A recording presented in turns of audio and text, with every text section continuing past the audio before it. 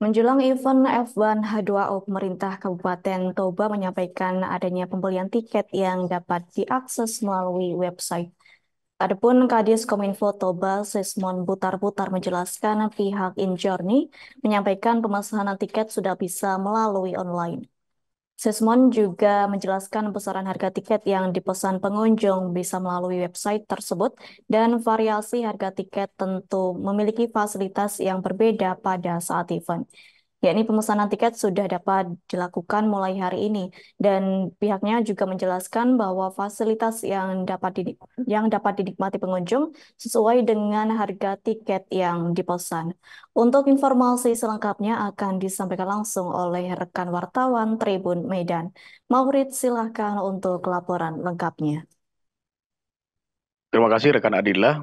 Tadi kita hasil wawancara kita dengan Kadis Kominfo Toba menyebutkan bahwa pemesanan untuk eh, event F1 H2O itu sudah bisa diakses melalui salah satu website yang bekerja sama dengan pihak Injourney atau panitia untuk penyelenggaraan event eh, F1 H2O di Indonesia. Ini merupakan kali kedua di Toba diselenggarakan dan diperkirakan itu akan berlangsung hingga tiga tahun kemudian, artinya lima tahun uh, perjanjian begitu. Nah, uh, menurut Kadis tadi, saya sempat putar-putar mengatakan pihaknya telah mengakses dan berhasil artinya mulai hari ini uh, website tersebut bisa diakses dan variasinya ada dua. Yang pertama itu harga 200 ribu dan 500 ribu.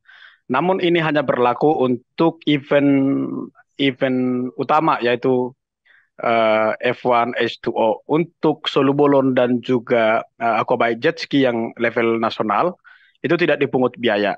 Nah, untuk itu tadi dia sebutkan bahwa pihaknya juga berharap uh, masyarakat sekitar berkontribusi aktif, misalnya memberikan uh, pelayanan yang baik kepada tamu yang diperkirakan akan datang sekitar 30 hingga 50 ribu.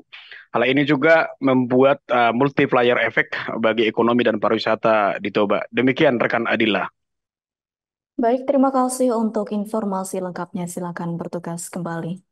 Tribuners, wartawan kami telah menghimpun wawancara bersama Kadis Kominfo Toba, yakni Sesmon Butar-Butar. Berikut untuk tayangannya. Soal uh, tiket yang dikutip dari masyarakat atau pengunjung untuk menyaksikan F1 H2O itu, Pak.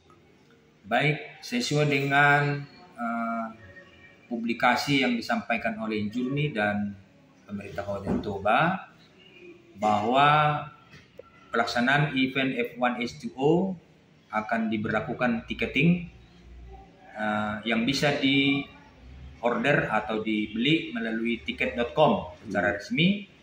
Ada dua ada tiga ada tiga eh, item yang bisa diorder hmm. yaitu item untuk 200 rupiah 200 ribu rupiah per dua hari.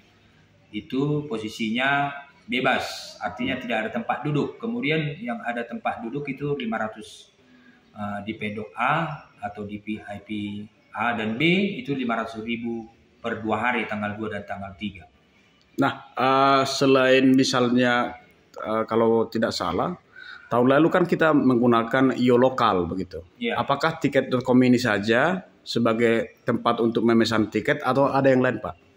Uh, secara resminya seperti tahun sebelumnya sebenarnya ini berlaku. Download Tribun X sekarang. Menghadirkan lokal menjadi Indonesia.